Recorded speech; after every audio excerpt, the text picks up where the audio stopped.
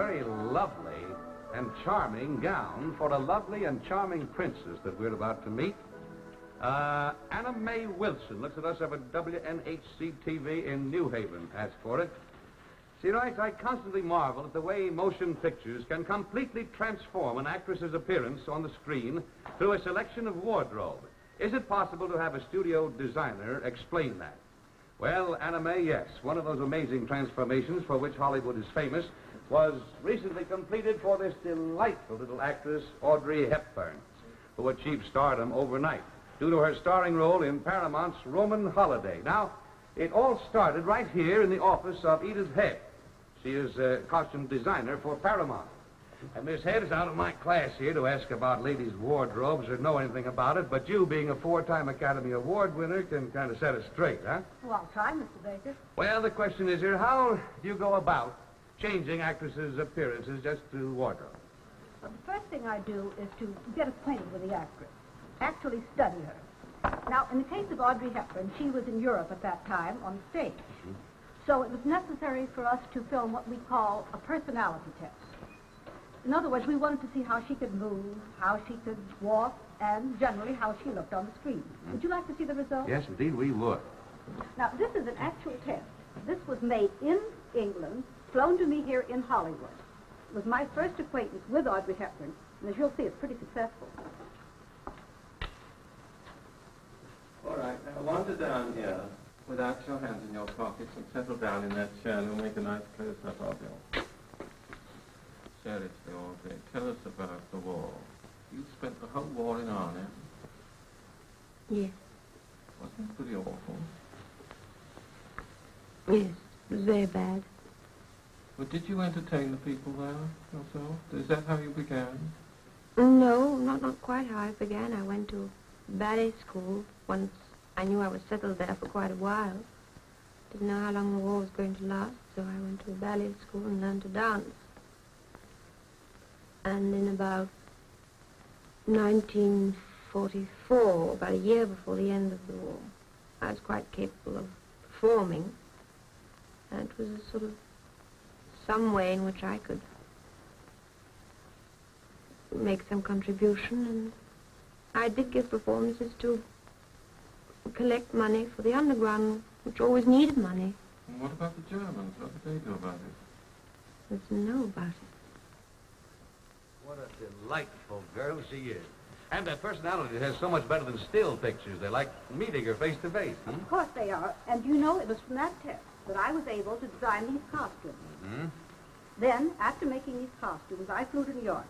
I actually met Miss Hepburn and made this wardrobe test.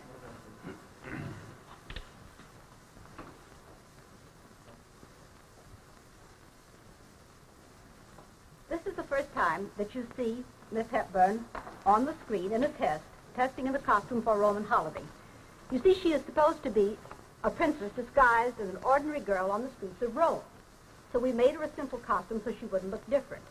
And you know why she's rolling up her sleeves and all of these things? It's because in the picture she had to look casual, informal, and we felt due to the heat of Roman summer, a girl would really do this sort of thing. Mhm. Now, watch and see what she does now, because this is what we call demonstrating through a test what is going to happen in a picture. It helps the director and it helps an actress. You see, she's whirling around because in the picture she has to ride a motorcycle. see, it proves it. Oh, her pretty hair was cut off in the picture. Yes, that's part of the story, too. Now, this is a, a transformation as the princess. You see, we don't do any tricks or give her a crown, but we give her a regal dress, a simple dress of real lace.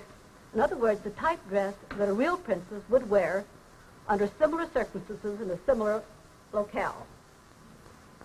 This is what we call transformation through wardrobe. Hmm. Real regal. That's real lace, too. It really is lace, and the princess could have worn this dress. And Audrey wears this dress in the picture.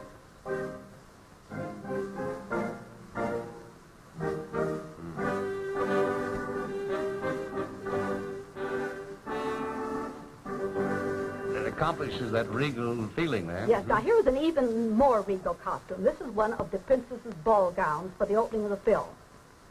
We had two costumes from which to choose, and we took this one of silver brocade because it was a little more photographic, a little gayer.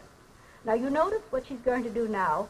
She is turning around in the picture because the producer, William Wyler, said it's too long, she can't possibly dance. Hmm. Now, Audrey, who is an accomplished dancer, says, just watch me, and that is why she did it in the test. And she wears it in the picture.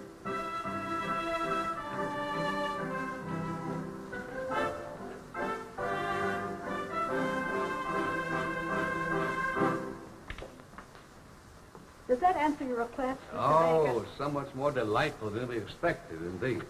Well, Roman Holiday, I, your work in that, you must be congratulated. I kind of see another Academy Award coming. Well, I'm uh, more certain that the picture itself will win an Academy Award because Mr. Wyler's direction was marvelous. He always has good ones there. Everyone's talking about this Audrey Hepburn. I, I can see why, too. And, of course, you had Gregory Peck and uh, Eddie Albert. They're outstanding. I must say that having seen the picture, this one of the recent ones that, that I look at people and say, Roman Holiday, you've got to see. Thank you very much indeed for answering this request. It's been a great pleasure, Mr. Baker. And to you, Anna Mae Wilson in New Haven there, we saw a bit of Hollywood magic before our eyes because you asked for it. Música